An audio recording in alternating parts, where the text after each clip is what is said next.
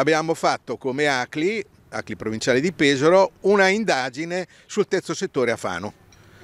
Il terzo settore, ai sensi della riforma, ha un registro nazionale e nel registro nazionale nel comune di Fano sono 159 le organizzazioni del terzo settore iscritte. Questo ci dà un po' una dimensione di una città, lo sapevamo già, molto attenta ai temi dei processi che riguardano non solo il sociale, ma anche l'ambiente, ma anche il benessere, il benessere animale, ma anche una, la cultura. La cultura.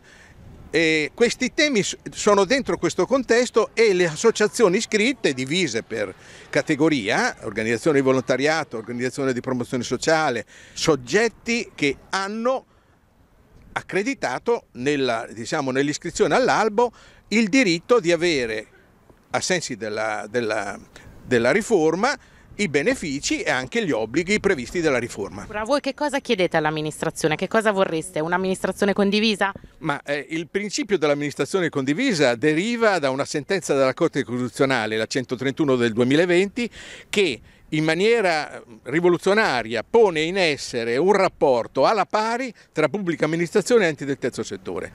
Questa sentenza poi ha avuto una declinazione all'interno della riforma con dei principi che l'amministrazione deve poi portare a compimento, quello della coprogrammazione e quello della coprogettazione con gli enti del terzo settore. Tutto questo per il bene comune? Sì, tutto questo per il bene comune perché le associazioni iscritte a vario titolo all'interno del RUNZ, del registro, hanno un fine statutario che ha la valenza di intervenire in quei settori direttamente con capacità e competenze rispetto ai ruoli che le stesse associazioni hanno. Parliamo di numeri?